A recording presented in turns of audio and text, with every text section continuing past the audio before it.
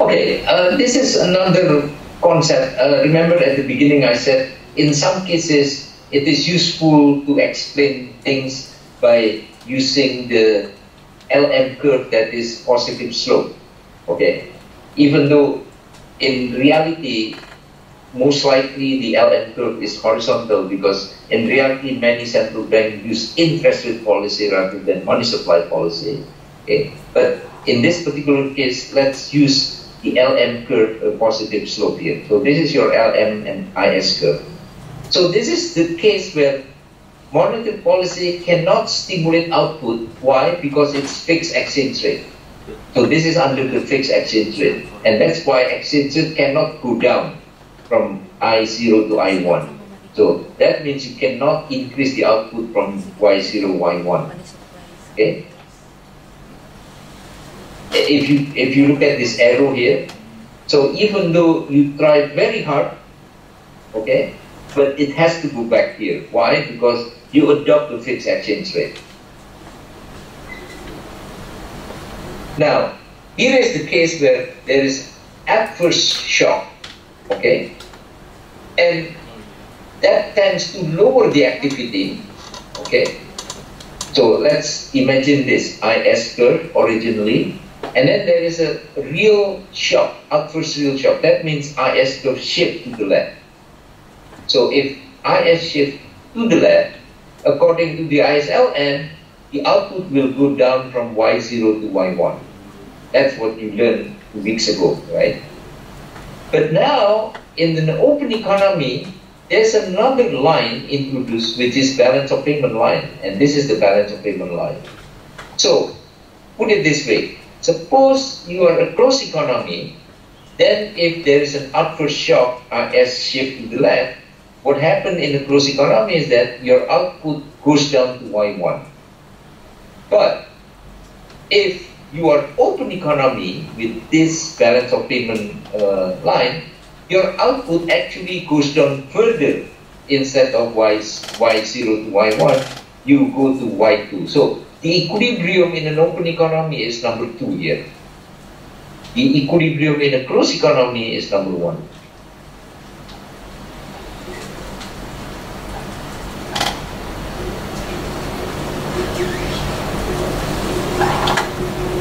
Now that's the case of fixed exchange rate. Now this is the case of floating exchange rate.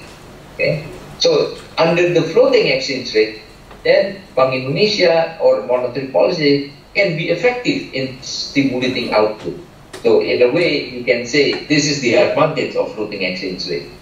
Because remember, in the fixed exchange rate, you cannot do that. You cannot, you cannot lower the interest rate. In this case, you can lower the interest rate. So that means your output can go up here.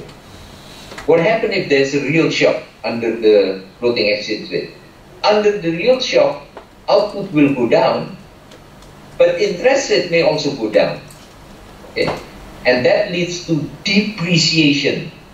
And hopefully the depreciation will lead to higher export and higher export also lead to higher output. So the output is first going down, this arrow here, first going down, but then going up again because of the floating exchange rate. So at the end, you may wonder if that is the case, there's advantages and there are disadvantages of both fixed exchanges and floating exchanges. Then what is the best regime to pick?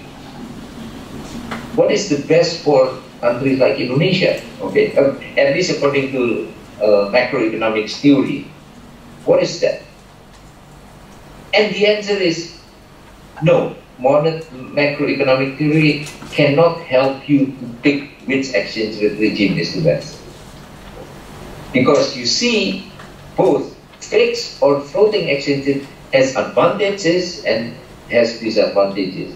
So, the most important thing is that policymaker must understand what are the advantages and disadvantages of each of the regime and based on their own circumstances because the monetary authority knows the best about the, the circumstances of the country, then they can pick this one. Okay? But You cannot pick a particular regime by relying on what does the macroeconomic workhorse model tell you. No, you cannot. Because essentially, the macro uh, microeconomic workhorse model does not tell you which exit system is the best. Okay?